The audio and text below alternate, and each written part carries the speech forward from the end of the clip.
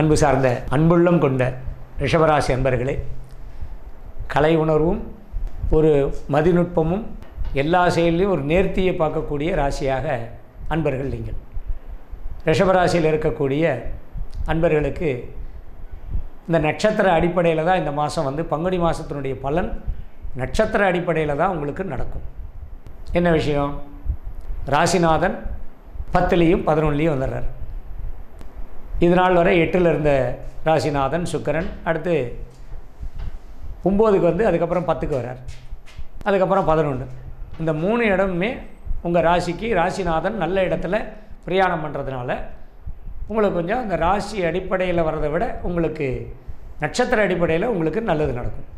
அதனால் நீங்கள் இந்த தினசரி பலன் அப்படின்னு சொல்லக்கூடியது உங்களுக்கு இந்த மாதத்தில் ஒர்க் அவுட் ஆகும். சூரியனாகப்பட்டவர் உங்களுக்கு பதினோராம் இடத்துல வந்து அரசாங்க சம்பந்தப்பட்ட வகையில் இருக்கக்கூடிய நபர்களுக்கும் சரி தாய் தந்தை வழியிலே தந்தை வழியில் இருக்கக்கூடிய தந்தையினுடைய அரவணைப்பில் இருக்கக்கூடியவர்களுக்கும் சரி குடும்பத்தில் நல்ல முறையில் எனக்கு குடும்பம் தான் முக்கியம் அப்படின்னு நினைக்கக்கூடியவர்களுக்கு இந்த மாதம் உண்மையிலுமே நல்லது நடக்கும். கிருத்திகை நட்சத்திரக்காரர்களுக்கு கண்டிப்பாக மாதத்தினுடைய பத்து நாள் போராட்டாதி நட்சத்திரத்தில் சூரியன் வரும்பொழுது உங்களுக்கு குருபலனானதையும் சேர்த்து இந்த சூரியன் உங்களுக்கு கொடுத்துருவார். இந்த அசுரகுருன்னு சொல்லக்கூடிய சுக்கிரனும் உங்களுக்கு நல்லது பண்ணிடுறார். அடுத்து உத்திரட்டாதி நட்சத்திரத்தில் வரக்கூடிய அந்த பத்து நாள் நீங்கள் கொஞ்சம் ஜாக்கிரதையாக இருக்கணும். ஏன்னா உங்களுக்கு பன்னெண்டாம் அதிபதியும் ஏழாம் அதிபதியாக இருக்கக்கூடிய செவ்வாய் ராசிக்கு. அவர் வந்து இப்போ பன்னெண்டில் இருந்து ஒரு நாலு நாள் கழித்து பங்குனி மாதம் நாலு நாள் கழித்து உங்கள் ராசிக்கே வர்றதுனால சகோதர வழியில் இருக்கக்கூடியவர்களுக்கும் பூமி நிலம் வீடு மனை இந்த மாதிரி வியாபாரம் செய்யக்கூடிய இந்த ரியல் எஸ்டேட் பண்ணக்கூடியவர்களுக்கெல்லாம் கொஞ்சம் நல்லது பண்ணக்கூடிய மாதமாகவும் இருக்குது சினிமா துறையில் இருக்கக்கூடிய கலைஞர்களுக்கு இந்த மாதம் கொஞ்சம் நல்லது பண்ணும். ஏன்னா சனி ஆட்கு சனியினுடைய தாக்கம் இருந்தால் தான் சினிமாவுடைய துறையில் சனியும் சுக்கரனும் தாக்கம் இருந்தால் தான் உங்களுக்கு ரொம்ப நல்லதெல்லாம் நடக்கும். அப்போ சனியினுடைய நட்சத்திரத்தில் சூரியன் வரும்பொழுது உங்களுக்கு கொஞ்சம் வல்லமை கூடும்.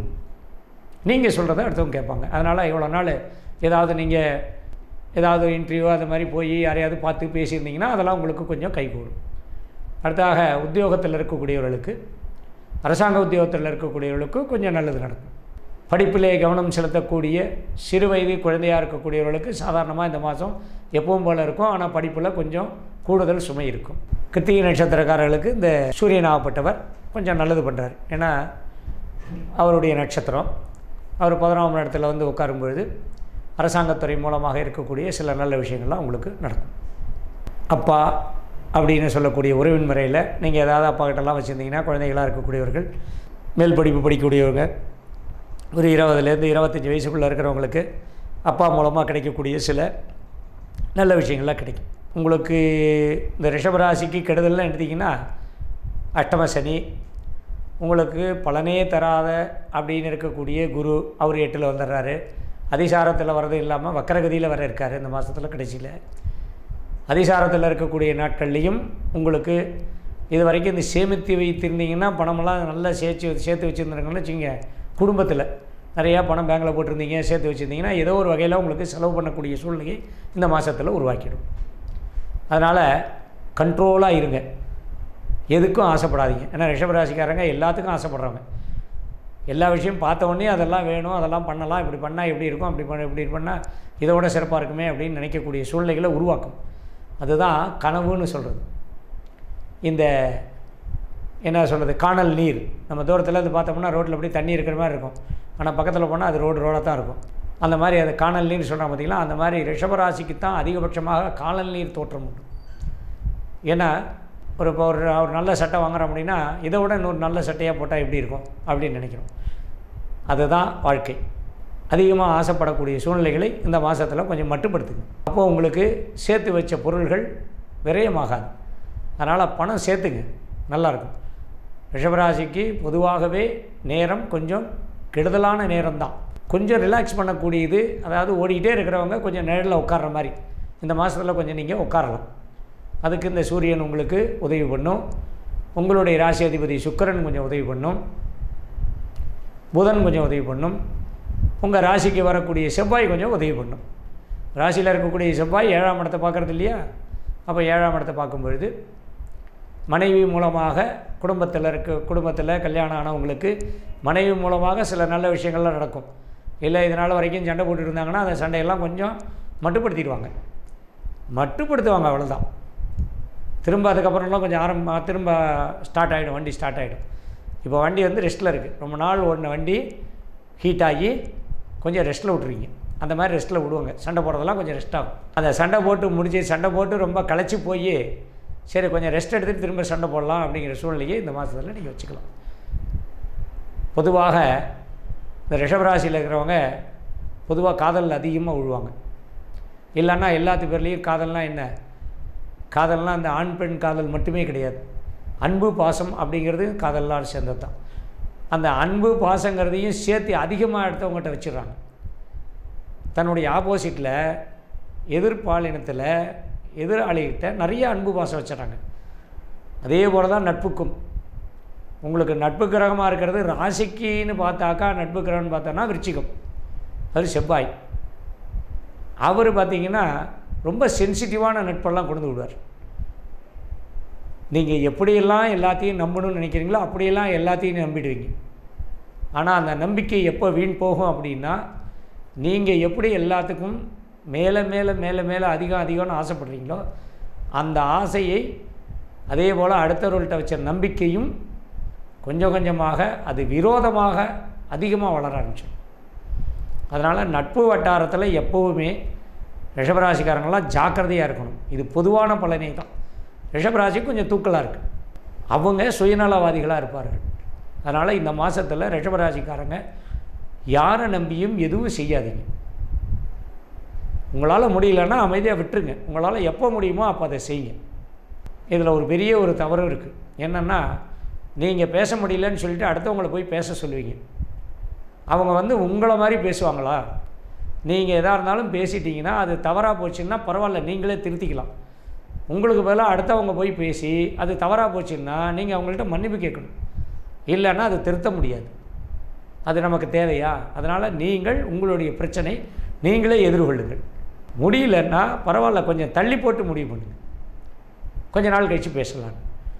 உங்களுக்காக அடுத்தவர்கிட்ட வக்காலத்துக்கு போக சொல்லாதீங்க. உங்களுக்காக அடுத்தவரை போக சொல்லாது அவங்க போய் அவங்களுடைய விஷயத்தை மட்டுமே தான் கரெக்டாக ஒன்று பேர் இல்லை புகழ் இந்த ரெண்டுக்காக உங்கள் உங்களை வந்து கவுத்துருவாங்க. நீங்கள் யாரை நம்பி எதை சொல்கிறீங்களோ அவங்க கண்டிப்பாக செய்ய மாட்டார்கள். இது நீங்கள் ஜாக்கிரதையாக இருக்கணும். இது எதுக்கு நான் சொல்கிறேங்கிறது பல பேர்களுக்கு புரியும். இந்த கட்டத்தில் இருக்கிறவங்களுக்கு புரியும். குடும்பத்தில் கணவன் மனை உறவு கண்டிப்பாக பிரச்சனைகள் இருக்கும். ரிஷபராசிக்கு. அந்த பிரச்சனை இருக்குது அப்படின்னா அந்த பிரச்சனைக்கு யார் காரணமோ அந்த காரணகர்த்தாக்கிட்ட நீங்களே டைரெக்டாக பேசுங்க. அது மனைவியாக இருந்தாலும் சரி கணவனாக இருந்தாலும் சரி. கணவன் மனைவி உறவுங்கிறது ரொம்ப முக்கியமானது. சண்டை போட்டுக்கிட்டே குடும்பம் நடத்தலாம். நல்லா புரிஞ்சுங்க. சண்டை போட்டுக்கிட்டு பிரியறதுனால ஒரு வாழ்க்கையே கிடையாது. உங்களை கஷ்டப்பட்டு சேர்த்து வச்சு ஒரு அரேஞ்ச் மேரேஜ் பண்ணுறவங்களா இருந்தாலும் சரி ஒரு லவ் மேரேஜ் பண்ணிக்கிட்டு இருந்தாங்களாலும் சரி நீங்கள் யாராக இருந்தாலும் சரி நீங்கள் குடும்பம் நடத்தணும். அந்த குடும்பம் உங்களுக்கு முக்கியம். தனித்த மரம் தோப்பாகாது. தனித்து நிற்கிறதுனால என்ன வளர்ந்துட போகிறது உங்களுக்கு? அட்டம சனி இந்த வேலையை செய்யும். அட்டமத்தில் இருக்கக்கூடிய கிரகங்கள்லாம் இந்த வேலையை செய்யும் ரிஷபராசிக்கு சண்டை போட்டுக்கிட்டே குடும்பம் நடத்தி பாருங்கள் அந்த சண்டை ஒரு நாள் தீரும். அது வளராமல் இருக்கிறதுக்கு என்ன பண்ணணும் அப்படின்னா நீங்கள் கொஞ்சம் அந்யோன்யமாக இருக்கணும். யார் தவறு பண்ணாலும் சரி கணவன் மனைவிக்குள்ளே யார் தவறு பண்ணாலும் அதை திருத்தி கொண்டு அதை அனுசரித்து கொண்டு திருத்தி கொண்டு வாழணும். அனுசரித்து போகிறதுனா எப்படி? மற்றவங்க செய்கிற நம்ம தப்பை வந்து நம்ம சரி சரின்னு சொல்கிறது அது இல்லை. இப்படி செய்கிறதுனால இது மாதிரி பிரச்சனை தான் வரும் அப்படின்னு. நீங்கள் சொல்லி கேட்கலன்னா அமைதியாக இருந்துருங்க. அடுத்தவங்கள சொல்லி கேட்க வைக்காதீங்க. அது அடுத்தவர்களுக்கு அது பலனாக போகும். இது எப்படிங்கிறது உங்களுக்கு இதுவும் உங்களுக்கு புரியும். எப்படி புரியும்? அதை நீங்கள் மனசுக்குள்ளே வச்சுங்க. இது கணவன் மனை உறவுக்கு இந்த வருஷம் பூராமே இருக்குது இந்த அட்டம சனிங்கிற காலகட்டம் பூராமே கணவன் மனைவி ஏற்கனவே விரிசலில் இருந்தால் அந்த விரிசலில் இருந்துக்கிட்டு தான் இருக்கும். இதை ஒன்று சேரத்துக்கு உண்டான வழியை நீங்களே முழு முயற்சியாக நீங்களே தான் செஞ்சுக்கணும் அப்படின்னு நான் சொல்கிறேன் காம்ப்ரமைஸ் பண்ணுறேன்னு சொல்லிவிட்டு நீங்கள் வேறு ஏதாவது புதுசாக ஒரு உத்திகளை ஒரு கையை முறையை கையாண்டிங்கன்னா அது சிக்கலை உருவாக்கும். பெற்றவர்களுக்காக நீங்கள் வாழலாம். மற்றவர்களுக்காக வாழக்கூடாது. மனைவிக்காக வாழலாம். மனைவியை சேர்ந்தவர்களுக்காக நீங்கள் வாழக்கூடாது. குழந்தைகளுக்காக வாழலாம்.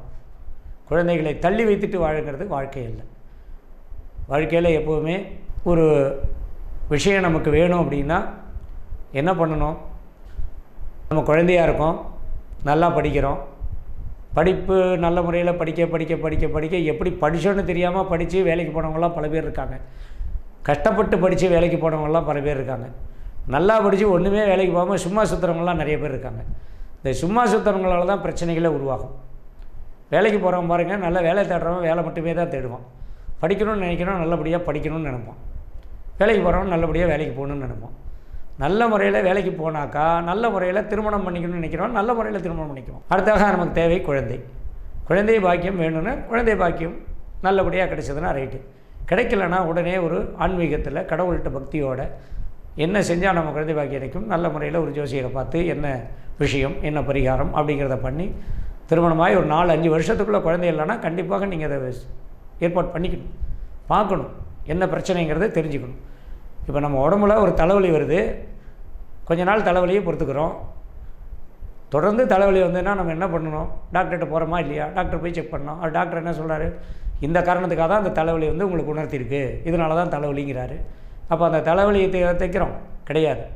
நம்ம உடம்புல என்ன பிரச்சனை இருக்கோ அதுக்கு நம்ம மருந்து மாத்திரை சாப்பிட்டு அதுக்கு நம்ம உடம்பை சரி பண்ணிக்கிறோம். டாக்டர்கிட்ட எப்படி நம்ம போகிறோம் நமக்கு இல்லைன்னா ஒரு பதட்டத்தோட டாக்டர்கிட்ட போகிறோம் நமக்கு ஏதாவது ஒன்றுனா டாக்டர்கிட்ட போகிறோம் டாக்டர் உடனே நமக்கு தீர்த்து வச்சிடறாரா? கிடையாது. இன்னும் கொஞ்சம் ஜாஸ்தியாக தான் வியாதி உருவாக்குறாரு.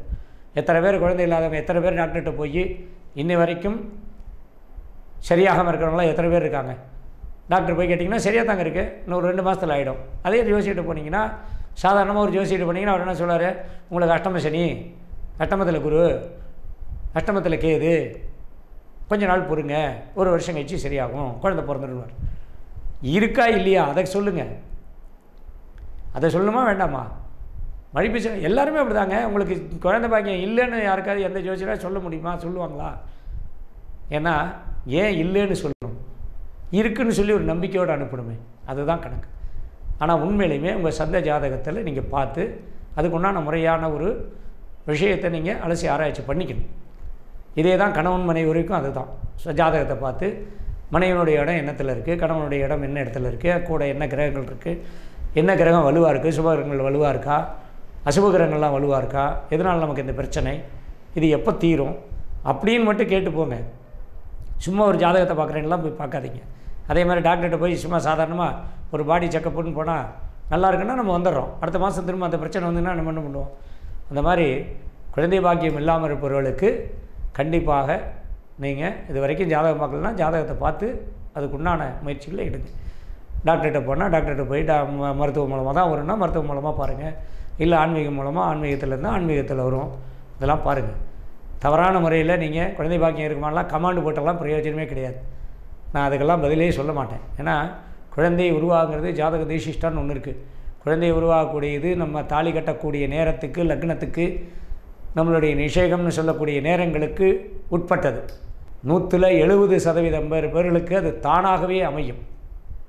எந்த ஒரு கஷ்டமும் பட வேண்டியதில்லை. ஏன்னா திருமணங்கிறதே ஒரு நல்ல காலகட்டம் இருந்தால் தான் திருமணம் நடக்குது. அந்த நல்ல காலகட்டத்தில் நம்ம என்ன தப்பு பண்ணுறோம் அப்படின்னா ஜாதக பொருத்தம் பார்க்குறோம் அந்த பொருத்தம் பார்க்கும்போது முகூர்த்த நாள் பார்க்குறோம் அந்த பொருத்தத்திலேயே மாகேந்திர பொருத்தம் ஸ்ரீதீர்க்கம் அப்படின்னு வசியம் யோனி இப்படிலாம் பொருத்தம் இருக்குது அதெல்லாம் எதுக்கு உட்பட்டது? இந்த மாதிரி குடும்ப வாழ்க்கைக்கு உட்பட்டது.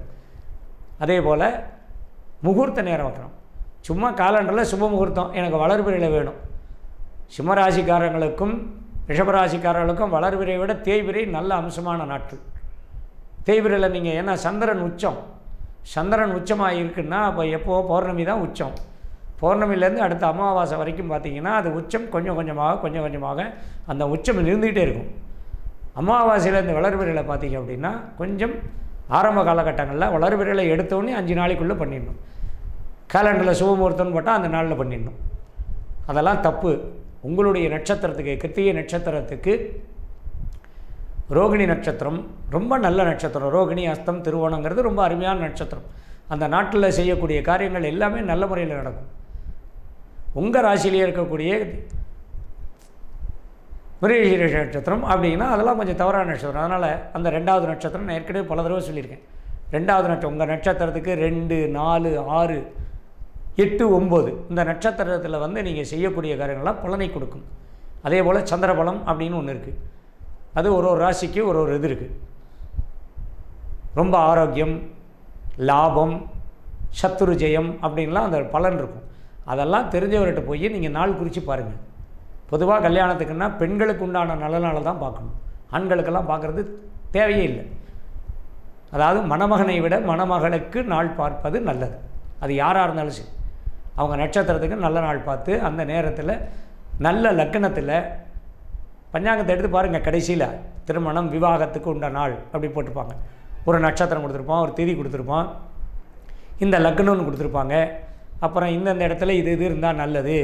மூணு ஆறு பதினொன்றில் பாவிகள் இருப்பது நல்லது. ஏழில் இந்தந்த கிரகங்கள்லாம் இருக்கக்கூடாது. எட்டில் குரு கண்டிப்பாக இருக்கக்கூடாது. ஏழில் குரு இந்த மாதிரிலாம் அட்டவணை இருக்குது அந்த மாதிரிலாம் இல்லாத லக்கணத்தில் திருமணம் பண்ணுது. உங்களுக்கு நான் இதை சொல்கிறதுக்கு இன்னொரு காரணம் இருக்குது பொதுவாக ரிஷபராசிக்கு படிக்கக்கூடிய மாணவர்கள் ஒரு வீட்டை விட்டு கிளம்புறாங்க அப்படின்னா ஒரு நல்ல நேரம் கெட்ட நேரம் பரீட்சைக்கு போகும்போது நல்ல நேரம் கெட்ட நேரம் பார்த்து போங்க. கண்டிப்பாக சக்ஸஸ் ஆகிடும் ஒரு பெண் பார்க்க போகிறதுக்கு ஒரு நல்ல நேரம் கெட்ட நேரம் பார்த்து போங்க. பட்சி நேரங்களை கடைபிடியுங்கள். கேளுங்க. ஒரு ஜோசியக்காரர் நீங்கள் உங்களுடைய குடும்ப ஜோசியர்கிட்ட போய் எனக்கு பட்சி நேரம் எழுதி கொடுங்கன்னு கேளுங்க. கண்டிப்பாக தருவாங்க. அதே போல் திருமணத்துக்கு லக்கணம் குறிக்கும்போது இந்த மாதிரி இந்த லக்கண அடிப்படையில் இருக்கா? கேளுங்க. டாக்டர்கிட்ட போய் நீங்கள் இதெல்லாம் கேட்க முடியாது. யோசிக்கிட்ட கேட்கலாம். ஏன்னா அவர் உங்களுக்காக இருக்கிறவர். டாக்டர் வந்து நிறைய பேத்துக்கு இருக்கிறவர். உங்களுடைய குல ஜோசியர் குடும்ப ஜோசியர்கிட்ட கேளுங்க. டாக்டர்கிட்ட போய் அதுக்கு தான் குடும்ப டாக்டர் வச்சுருக்காங்க. அவருக்கு உங்களுக்கு என்னென்ன மாத்திரை கொடுத்தாருங்கிறது ஆரம்பத்துலேருந்து கடைசி வரைக்கும் தெரியும். நீங்கள் ஒரு ஒரு நல்ல விஷயம் கெட்ட விஷயம்னா இங்கே போய் கேட்கும்போது இந்த மாதிரி கேட்கணும். அடுத்து ஒரு வீடு கிரகப்பிரவேசம் பண்ணுறீங்களா உடனே காலண்டரில் முகூர்த்த நாள் போட்டால் உடனே கிரகப்பிரவேசம் பண்ணிடுது. எனக்கு அதே நாள் தான் வேணும். எல்லாரும் சொல்கிறாங்க உங்கள் நட்சத்திரத்துக்கு அது நல்ல நாளாக பாருங்கள் பரணி கிருத்திகை அப்புறம் வந்து கேட்டை ஆயில்யம் இதெல்லாம் பார்த்திங்கன்னா ஒரு பாட்டே இருக்கும். தீதுரு நட்சத்திரங்கள் அப்படின்னா இதில் வந்து வழிநடை போனார் திரும்பார் பணம் கொண்டு போனார் திரும்ப மாட்டார் தனம் சேராது அப்படின்லாம் அந்த பாட்டிலேயே இருக்குது அதெல்லாம் விட்டுறது. முகூர்த்த நாள் போட்டிருக்கு. ஆயில நட்சத்திரம்.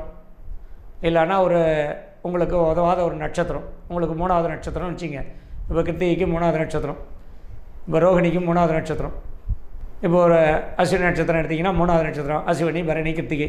கிருத்திகை நட்சத்திரத்தில் அன்றைக்கி மூர்த்த நாளாக போட்டிருந்தாங்கன்னா கூட உடனே அந்த தேயில பண்ணது. அது வந்து ஆபத்தாரான்னு சொல்லக்கூடியது. அந்த நாளில் பிரயாணம் பண்ணுறது இப்போ ரோஹிணி நட்சத்திரம் எடுத்திங்கன்னா ரோகிணி மிருகசீரிஷம் திருவாதிரை. திருவாதிரை நட்சத்திரம் உங்களுக்கு ஆகவே ஆகாது. அந்த நட்சத்திரத்தில் நீங்கள் பைக் எடுத்துகிட்டு ரொம்ப அர்ஜெண்ட்டாக ஒரு வேகமாக போகிறது போனீங்கன்னா கீழே விழுந்து காலில் அடிபட்டு வந்து நான் திருவாதிரை எங்கே அடிபடுதுன்னே தெரியாது. அடிபட்டு வந்துடுவீங்க இந்த மாதிரி சூழ்நிலையெல்லாம் ரிஷபராசிக்கு கண்டிப்பாக இருக்குது அதெல்லாம் நீங்கள் அனுசரித்து ஒரு நல்ல நாள் கெட்ட நாள் பார்த்து எந்த ஒரு காரியத்தையும் செய்யும் இந்த ரோ விவசாய ரிஷபராசியில் இருக்கக்கூடிய விவசாயிகளுக்கு இந்த மாதம்லாம் கொஞ்சம் நல்லது. பரீட்சை எழுதக்கூடியவங்களுக்கெல்லாம் நல்லது பண்ணும்.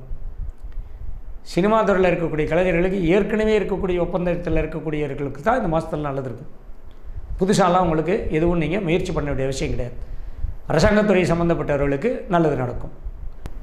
அதனால் கொஞ்சம் இந்த மாதம் உங்களுக்கு ரிலாக்ஸாகவும் கொஞ்சம் நல்லதாகவும் இருக்கும். இந்த கணவன் மனைவி விரைவில் வந்து விரிசலாக இருக்கக்கூடியவர்கள் கொஞ்சம் அதை அனுசரித்து போகிறதுக்கு உண்டானது யாரையாவது ஒரு பிரச்சனைக்கு முற்றுப்புள்ளி வைக்கிறதுக்கு உண்டான சூழ்நிலைகளுக்கு நீங்களே போய் டைரெக்டாக நீங்கள் போய் பேசி டைரெக்டாக நீங்களே அது அனுசரணையாக நடக்கக்கூடிய சூழ்நிலைகளை உருவாக்கிங்க. பணம் சேர்த்து வச்சுருந்தீங்கன்னா கொஞ்சம் செலவாகும். அதெல்லாம் கொஞ்சம் செலவு பண்ணாமல் சேர்த்து வச்சது சேர்த்து வச்ச மாதிரியே இருக்கட்டுமே. ஒரு மாதம் தள்ளி போடுங்க. இன்னும் ரெண்டு மாதம் தள்ளி போடுங்க. அப்புறம் ஒரு மூணு மாதம் தள்ளி போடுங்க. அப்படியே பார்த்தீங்கன்னா அந்த செலவு நீங்கள் செய்யாமே விட்ருவீங்க அது செய்யாமல் இருக்கிறதே நல்லது. செலவு முக்கியமாக ஏதாவது செய்யணும்னா மட்டும் நீங்கள் செய்யலாம். அதே போல் கடனில் இருப்பவர்கள் கடனை அடைக்கக்கூடிய சூழ்நிலைகள் இந்த மாதத்தில் கிடையாது. அதனால் கொஞ்சம் அதே மாதிரி கடன் வாங்கக்கூடிய சூழ்நிலையும் இந்த மாதம் பண்ணாதீங்க. ஒரு ஃபைனான்ஸ் எல்லாம் வச்சுருக்கிறவங்க கொஞ்சம் ஜாக்கிரதையாக இந்த மாதம் அளவுக்கு மீறி வியாபாரத்தை பெருக்கிறேன்னு சொல்லிவிட்டு அளவுக்கு மீறி கடன்லாம் கொடுக்காதீங்க. வியாபாரிகளுக்கு சுமாரான மாதம் தொழில் செய்கிறவங்களுக்கு கொஞ்சம் சுமாராக இருக்கும். உற்பத்தி தொழில் உற்பத்தியில் இருக்கிறவங்களுக்கு நல்ல காரியம் நல்ல நேரம் உங்களுக்கு இருக்கக்கூடியது இருந்ததுன்னா அதே வகையில் உங்களுக்கு அதை அப்படியே ஃபாலோ பண்ணிங்க அது அப்படியே நடைமுறையில் இருக்கும்.